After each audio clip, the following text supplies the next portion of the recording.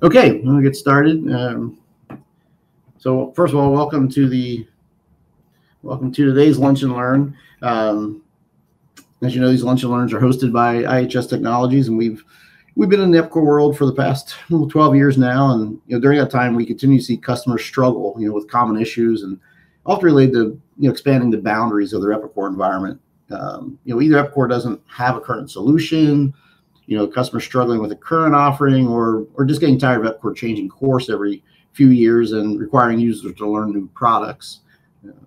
So these 30-minute sessions, you know, include topics like hosting, EDI, analytics and reporting, shipping solutions, credit card processing, and the, the topic of today's lunch and learn, uh, which is e-commerce. So along the way, uh, we'll introduce you to some of the best Epicor ancillary solutions we've seen, you know, users have the most success with over the years.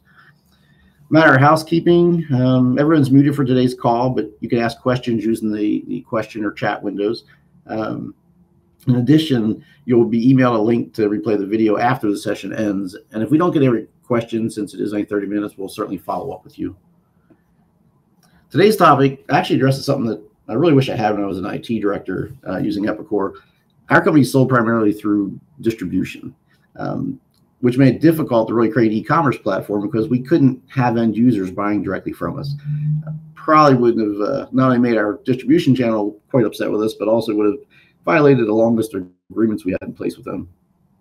So what we really needed was end users to you know purchase our products using the convenience of online shopping, while making sure the appropriate distributor got credited for the sale. Um, unfortunately, that didn't exist back then, um, but it does now, and that's what we're going to learn about today. So with that, I'm going to uh, turn this over to Chris Robinson with PartTrap. PartTrap has been you know tightly integrated with Epicor um, ERP for many years. You know, has a solid user base in the market uh, they're a trusted partner we enjoy. Uh, we, we like we enjoy dealing with them because you know not only they have a great product, but they're extremely easy to do business with. Uh, they make onboarding very efficient uh, with great value, and they're, they're always very willing to work with you, to do a proof of concept, you know whatever it takes to help you see uh, the, the benefits using their product and make sure it's a great fit. So with that, Chris, I'm going to make you a presenter, and you should be able to share your screen.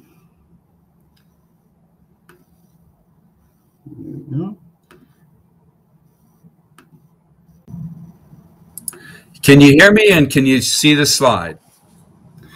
We can see you, and you look wonderful. well, why can't we see the slide here? Let let's. You can see my screen now. Oh, it's beautiful now. You nailed it. Oh, okay, boy. Sorry about that, folks, but uh, Anyway, good afternoon. Uh, my name is Chris Robinson, and I'm the North American Director for PartTrap. And um, I've known Mark now for oh, probably four or five years, and thrilled to be a uh, strategic partner with uh, Mark and uh, the IHS team. And we hope we have a uh, very compelling presentation today. So, as you see, our topic is to grow direct customer revenue without competing with your dealers and or distributors, however you uh, call them. Okay. And our agenda is we're going to tell you a little bit about PartTrap and uh, some of the challenges with direct going direct uh, in your sales efforts. And we're going to offer you two options where PartTrap uh, provides solutions depending on which option that you might be interested in. We'll have a quick uh, question and answer, and then a uh, an offer of a uh, no charge workshop, which might look at your solution and uh, give you some uh, answers and some guidance. Okay. first, a little a little bit about about PartTrap. So we've been in business for it, it's like ancient times here, 1994, really, when you think of it. We're a global company. Our headquarters is in Sweden, and then uh, offices here in uh, North America, which I run. Um, so we have customers globally who sell their manufactured or distributed products, and they might want it in multi-currency, multilingual capabilities and we handle all of that with a very tight integration with Epicor. We've been in the Epicor world for a long, long time. Many, many satisfied customers here in North America. And you'll see in the bottom left B2B, B2C, and B2B2X. And that's really what we're going to focus more on today the concept of B2B2X. But before we start, Mark, if you could just unmute everybody and uh, you know, give me an idea of what is it that brought you to today's session, and what is it that you're really hoping, you know, the problem that you're really liking to solve. So, if someone could raise their hand and just share your thoughts, and I can then sort of guide our today's presentation to answer some of those uh, questions or requirements you might have. Yeah, and unfortunately, in this in this platform, we we can't unmute people, but there is a chat window or question okay. window that you can pop questions into. All right, then that would be fantastic. If you you all could go ahead and do that. Well, I just want to make sure we're covering. So, so Parttrap One is really all about digital transformation and having a successful uh, digital sales process.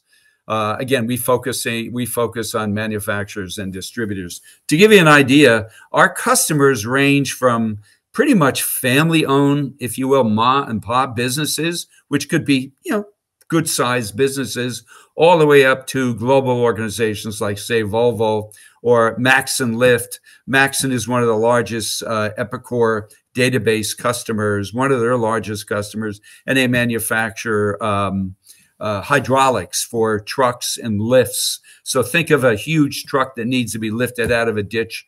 They would build the hydraulic lift to uh, make sure that happens. Okay. So uh, we have customers in heavy manufacturing and medical field. Uh, uh, uh, we just won the business for Broil King, and they'll be going live with us late summer this year. So when you go online to order a Broil King grill, or one of their dealers or distributors goes online, even if it's in Germany, let's say, or France, they're going to be using Parttrap to place that order or the spare part or uh, add-on part that they might uh, have. And and why is that? So, um, and that's because Parttrap includes out of the box. It's an all-in-one B2B e-commerce platform again designed specifically for manufacturers. Okay. Um, a big value add is that we're reading real time Ep- Epicor files, um, pricing, customer uh, pricing, dealer pricing, product ID, specs from that item, the price for that particular uh, product. Uh, and we also have our own configurator and can, can integrate in with the Epicor configurator. We also include what's called CMS, Content Management System, which is really all of the tools that a company would use to build a robust new website from scratch, all .NET based. We also include product uh, PIM, Product Information Management, which is really the images, the um, if you're using say SolidWorks for your CAD drawings, we can we can integrate that drawing in and then adds hotspots onto it, which would show the dealer price, the customer price, inventory availability, and then click right on the shopping cart to place an order for that and have that show up as an order back in um, Epicor real time. We're very strong in spare parts management. So many companies come to us because they really need a better way of helping their dealers or distributors find the spare part for a specific customer, see the inventory and price, and place the order. And we're very good at when there's a complex product and they need to configure a product. We could show you all this in a in a demo. So why is it important to tell a product story? Well, you know, obviously COVID has probably accelerated e-commerce adoption by many estimates are like five years. Your website has become your new front door, your showroom to your business. And if your organization does not, if your company doesn't have a uh, a clean, easy to navigate, full of product content, content, easy to use website, your customers are going to probably go someplace else. Many businesses have a website, and if you want to buy a product, you got to call customer service. Well, if it's 10 o'clock at night and a part broke, I'm not calling customer service. I'm going to go somewhere else and buy that product. At the same time, all of your product content and the experience needs to be the same, whether it's on a computer like I'm using today, a tablet, or a smartphone. So you're a manufacturer and now you're considering going with a direct sales approach to broaden the net of customers that you might manage. some things to think about.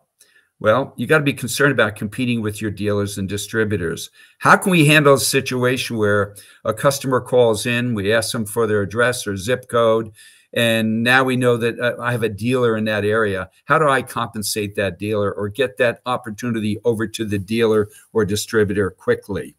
Okay. Um, and the last thing I want to do is compete with my dealers and make them go someplace else to buy the products that I'm offering them. So you don't have that dealer channel uh, uh, uh, angst, let's say. If you're dealing direct with uh, uh, your end user customers, you got to be prepared for a number of small orders. And there's a cost that each of you have, I'm sure, have calculated for what it takes to take an order, pick an order, and ship an order. There's real cost to every one of those. So how are we going to efficiently handle that? Okay, you're going to be you got to be ready for an increased number of returns and claims handling, a lot a dramatic increase in customer support calls. How are you going to accept payments? Can I quickly accept a payment that so I can get paid in a timely manner and not cost me a huge amount of money for my processing fees?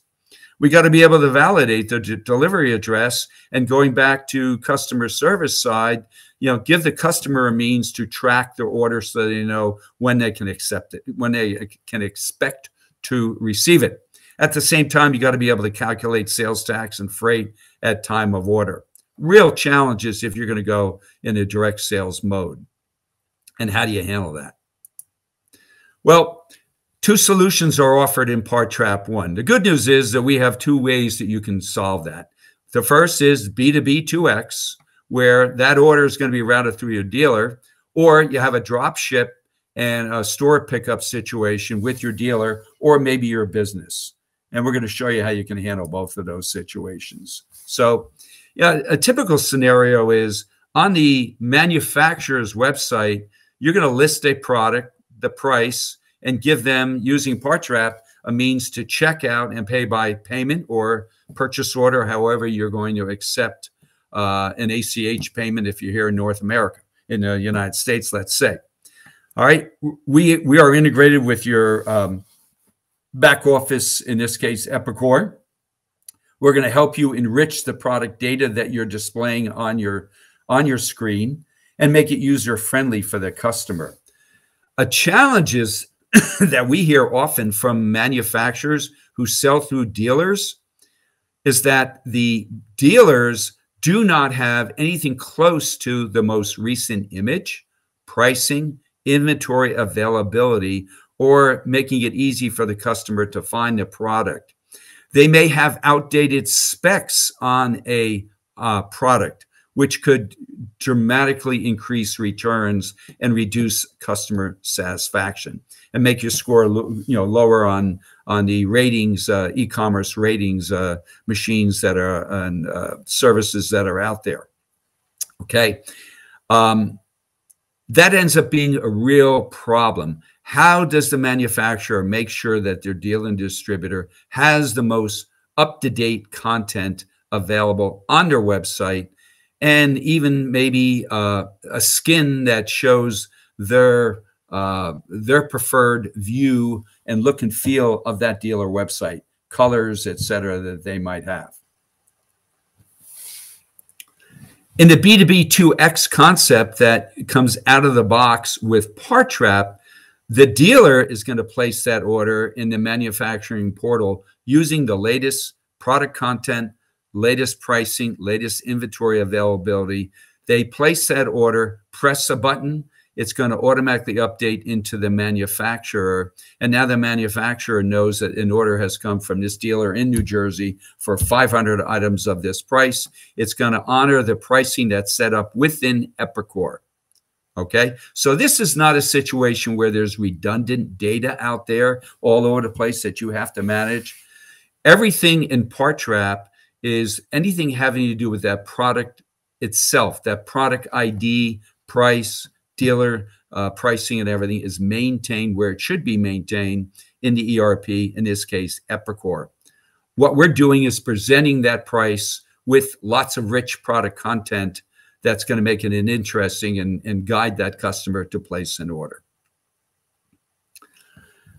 Okay. Uh, now, what about a situation where the customer is going to the so many of our uh, manufacturers sell through dealers, and maybe each state has a dealer. So let's use an example of Pennsylvania. The customer uh, logs onto the manufacturer's website and wants to place an order. And uh, we recognize that this customer is based in Philadelphia. So therefore, it's going to go to our dealer IHS.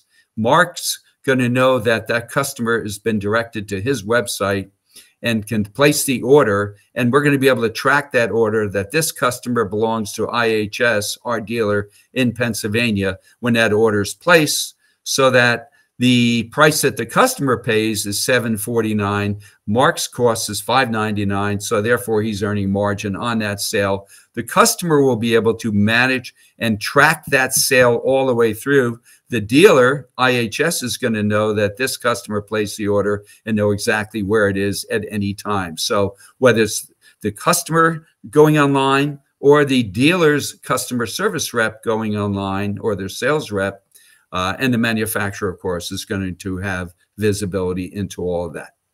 Okay. So uh, it makes it for a much more um, streamlined uh, uh coordinated customer experience because a part that they're looking at or a new item they're looking at in the dealer website looks exactly the same as the one that they would find in the manufacturer. Now, multiply that by many of our customers have 10, 20, 50, or hundreds or thousands of dealers worldwide. So if I make a change on this image of a part or a new item here in my home Parttrap system, it's going to populate across the globe with all of our dealers, giving that customer that same customer experience. If a price has changed or some technical, or they want to add a new video or a PDF on that item, they do it in one place in Parttrap and it's going to populate so that the customer again has that same customer experience. So we're gonna we as mentioned we have the ability to make Mark's website look different from uh, John's website from in in West Virginia and Bob's website down in Florida. We're simplifying the order process for the dealer, providing the rich content. Uh, we also have an approval criteria. So maybe I we have a recent situation where the customer has a series of clinics and that clinic will go ahead and place an order, but the manufacturer wants that order to come in to a centralized person to confirm that it meets all of their criteria before they go ahead and build that um, um, uh, that part for the actually it's a prosthetic for the uh, patient so it gives there's another situation might be uh, this dealer's been a little, slow in paying their AR, so I want to have an approval process for the manufacturer on every single order that comes in or a threshold. Any order above $2,000, I want to know so I can approve that. Okay? And uh, also, Parttrap is going to start, and this is working in, in concert with uh, Mark's solution from a business intelligence side, the ability to gather market data and user information on hey, this dealer, their sales this month compared to last year, 2021 compared to 2020. Uh, what's my total rev uh, sales or quotes on this particular item right here? So real real-time information to help you manage your business. Parttrap also has the ability to do drop shipment from a store. So the customer hits the website, hits the manufacturer's website. The manufacturer recognizes that this dealer is in Pennsylvania. So the customer then can go and pick, actually drop ship either the manufacturer can either drop ship it directly to the customer or drop ship it to the dealer because the dealer wants the customer to come into their office and give them a chance to upsell or maybe do some training on how to use that item. We handle that situation also. Closing the loop on that manufacturer, customer, and dealer relationship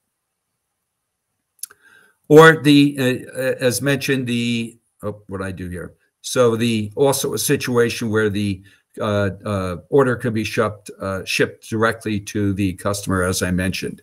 In the meantime, Parttrap's going to recognize that this customer belongs to this dealer. So let's say they have a 5, 10, 20% margin. All right, we're going to recognize that because we're looking into Epicor to read that. And then that dealer is going to get their monthly margin on that order. Okay. And of course, all the end order, uh, end user order statistics that relate to that particular order. Or, as I mentioned, also that third build on this situation is where the dealer wants that customer to come into their store to pick it up uh, for additional sales, and maybe they want to upsell them on a warranty. And by the way, uh, PartTrap also offers a not only the dealer management, but we also offer a quotation. So if you have dealers or uh, sales reps or OEM sales reps, you know, uh, manufacturer reps that might manufacture multiple products, and you want to make it easy for that manufacturer rep or your dealer to quote a product, and instead of just sending them a spreadsheet, it would include a uh, PDF that in that pulls in the individual items that that customer is looking for, all the technical specs, pricing, inventory availability, anything that you want to pull in that's all stored in our PIM. And then a real life quotation is sent email to the customer and you have a track of it. Uh, and the so the dealer knows how many open quotes there are, and the manufacturer can manage how many open quotes there are uh, for a individual customer. Okay, so instead of just sending them a spreadsheet that says "send me ten thousand dollars," no, it still says ten thousand dollars, but it has the images, technical documentation, uh, to help that customer better understand what it is they're being quoted. Okay, so again, we're going to simplify the order process for the dealer. We're going to make uh, the, the dealer search with store information. Uh, if they searched on a snowplow, you can see we can present that snowplow in an exploded view because I need that spare part right there. We can add a hotspot onto that snowplow spare part that's going to show the inventory availability or uh, uh, uh, order date uh, or arrival date, let's say, and the cost for that individual item. And the inventory availability may be a number, 100 or 10 in stock, or it may be green, yellow, you know, red, whatever uh, you you wanted to, to display here. I could click on this image and rotate it 360 degrees to find the part that I'm looking for. So think of like a golf cart where I want to flip the golf cart over because the battery or connection that I need to purchase is on the bottom. This is what I mean by making it easier for the customer to find the product that they're looking. I could search for this item by serial number, by product ID, by name, by any uh, by other manufacturer's name. The uh, uh, many of our customers uh, they want to be able to load in their competitor's catalog and then have a search where the customer could put in a part number from a competitor and their their equivalent part is going to come up all out of the box with PartTrap. Okay, so uh, just in closing, PartTrap is a is is offered in a SaaS model, software as a service. We don't charge by the user. Okay, um, and it's a, a, a, very affordable solution that you can uh, crawl, walk, and run with. You can start just with our basic system and then add on additional modules uh, as you go forward and as your uh, your business requires. So. With that, um, the main part of my presentation is over. I hope you enjoyed it. I hope you learned something uh, for it. And let's open up, Mark, for uh, questions.